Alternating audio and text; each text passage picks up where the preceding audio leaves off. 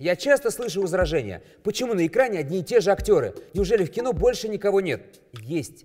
И для того, чтобы это доказать, и существует наша программа. Сегодня я познакомлю вас с одной молодой актрисой.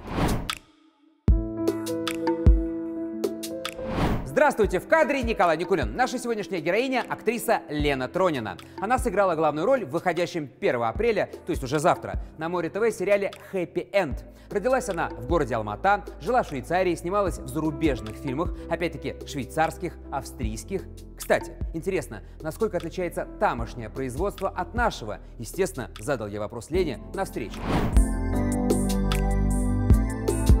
Зарубежные проекты, они тоже бывают разные. Если это какой-то инди-фильм малобюджетный, там все равно будет гораздо милее, чем у нас. Я всегда хотела сниматься в кино. Я всегда хотела сниматься. Я давала родителям камеру, чтобы они меня снимали. Я все время играла. Либо это делала на зеркало, либо как-то. Но мне всегда хотелось сниматься, всегда хотелось быть перед камерой. И так она снялась в одной из главных ролей в сериале «Хэппи Энд». Сериале про любовь, про самоопределение молодых, про то, как можно стать заложником индустрии развлечений ради денег. Тематика картины смелая. Подробнее рассказывать не стану, это уже будет спойлер. Посмотрите сами, если будет интересно. Вместе с Леной в шоу снялись Денис Власенко, Александр Горчилин, Любовь Толкалина. Среди продюсеров Сергей Бондарчук, Алексей Киселев. Режиссером проекта стал Евгений Сангаджиев. Ну, а ты можешь сейчас собраться и сделать эту бомбу? Соскочить не получится. Работаешь курой. Чего тебя в Москву занесло? Кинематограф. Что же еще? Вот его избегай любой ценой. Прыгнешь через голову, тебе не помогут. Обязательно это учту. Я не могу ее отпустить. Я очень много вложил в нее.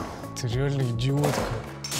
Интересное кино здесь. С режиссером я познакомилась в Зуме, потому что тогда была ну, такая сложная ситуация в связи с карантином, и я не могла приехать сразу на кастинг. Я познакомилась с Женей в Зуме, и там же я познакомилась с Лешей, с э, продюсером сериала. И я сделала свой первый кастинг с ними, что ли, я просто почитала с ними текст, и это было прикольно, но этого было недостаточно. Потом я приехала а, в Алмату, я тогда была в Нур-Султане. Я вернулась в Алмату, а, я сделала еще один и кастинг, то есть мы еще раз записали все сцены так, чтобы я ну, не, не по зуму общалась, а чтобы был какой-то видеоматериал. Его прислали, меня пригласили сюда на пробы. Я приехала на пробы, прошла их, и так. На свой день рождения, кстати, который 31 июля, а не 1 апреля. Во-первых, это взаимодействие с режиссером, который супер поддерживающий, супер понимающий, супер направляющий, супер переживающий вместе с тобой все, что происходит, и это дает такую как подушечку какую-то мягкую. Ты знаешь, что ты не один, и это очень круто. А, потом...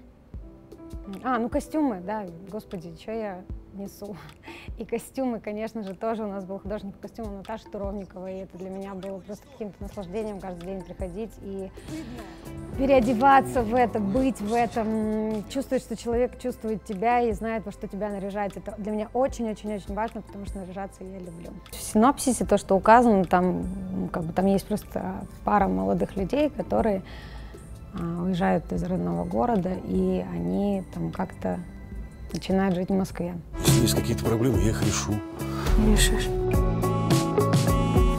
Женихи. Почти. Там вообще самая платежеспособная аудитория. Нет? Еще раз напомню, что сериал «Хэппи Энд» стартует завтра, 1 апреля, на платформе Море ТВ. С вами был Николай Никулин. Подписывайтесь на мой YouTube-канал «Кинокритик против». Интервью, оценки, анализ. Мы смотрим кино с пристрастием.